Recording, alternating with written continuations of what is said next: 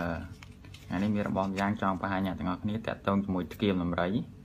ធ្គាមដំរីគេប្រើខាងត្រជាក់ត្រជុំណានេះគឺម្ដុំធ្គាមដំរីសុទ្ធ100%ហើយយើងក្រងណាយើងក្រងចេញជាបតោងហើយស្រាប់តែម្ដងណា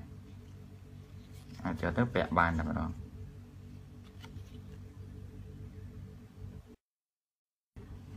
ហ្នឹងហើយអឺថ្ងៃនេះមានរបបម្យ៉ាងចង់បង្ហាញអ្នកទាំងអស់គ្នាតាក់ទងជាមួយធ្គាមដំរីធ្គាមដំរីគេប្រើខាងត្រជាក់ត្រជុំណានេះគឺម្ដុំធ្គាមដំរីសុទ្ធ100%ហើយយើងក្រងណាយើងក្រងចេញជាបតោងហើយស្រាប់តែម្ដងណាអាចចូលទៅពាក់បានតែម្ដង